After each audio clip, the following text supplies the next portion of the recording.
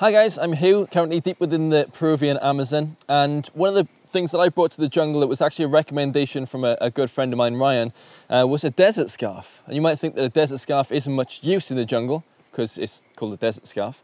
Uh, but actually I use it for quite a few things. So I use it for just putting around my neck to keep the insects away from the neck area. Uh, you can take it off and use it as a, uh, as a heat pad for holding your bowl when you have your porridge in the morning. Even as a head net uh, for putting over your head when there's lots and lots of mosquitoes around. So it's quite a versatile thing. You use it from uh, cleaning stuff up to, to mopping your brow. All those different things means that this desert scarf is right at the top of my kit list.